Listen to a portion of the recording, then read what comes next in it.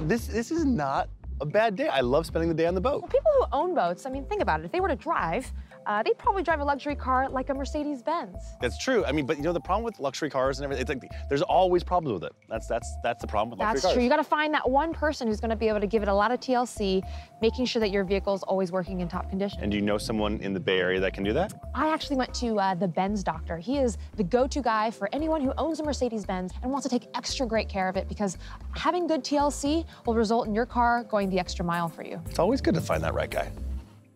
If you're a Mercedes Benz owner in the San Francisco Bay Area, you want to protect that baby. Ray, the Benz doctor, offers bumper to bumper service, top notch. Let's go see how he does it. Hi, Ray. Hi, Crystal. How are you? Nice to meet you, Nice the to you Benz doctor. Yes, and here's the better half of the company. Nice my to wife meet Lisa. you, Lisa. And my Hi, daughter Kiana. Nice to meet you, Kiana. Wow, so this really is a family-run operation. Yes, it is. I'd love to sit down and chat with you about your business. Um, should we head into your office? Sure, let's go. Why are you the Benz doctor? Well, I make house calls. So I come to your house, pick up your car, and take care of any concern that the customer has. Tell me about how long you've been in this business. I've been a Mercedes-Benz technician for 32 years now. Great. Where did you get your interest for this? Well, ever since I was a young boy, I wanted to be a Mercedes-Benz master mechanic. That's so specific. Why did you decide that that was going to be your ambition? My father told me I could either be a Ford mechanic or a Mercedes-Benz mechanic.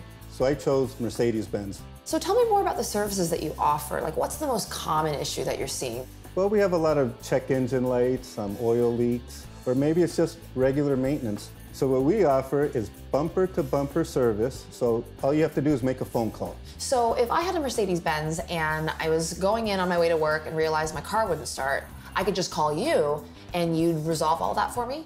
Yes.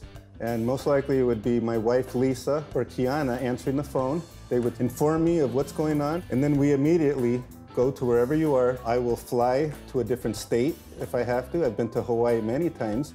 Why is it so important for a Mercedes Benz owner to find a Benz doctor? Most Mercedes-Benz owners love their cars. They want somebody that could take care of the issues and somebody that's going to be honest with them.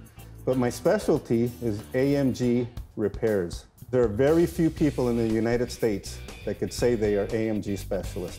Why are there so few of you? You need special equipment, special training, and that's why I'm here. Why do you think your clients are choosing you? We do honest work, and it's been going pretty well for me.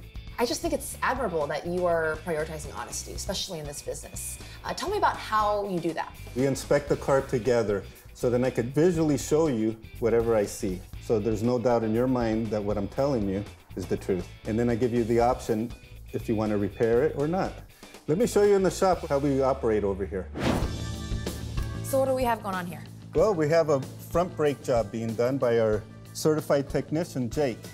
We only use genuine Mercedes-Benz parts, and this car just arrived about half an hour ago, and we already received the parts. So there's no waiting for parts.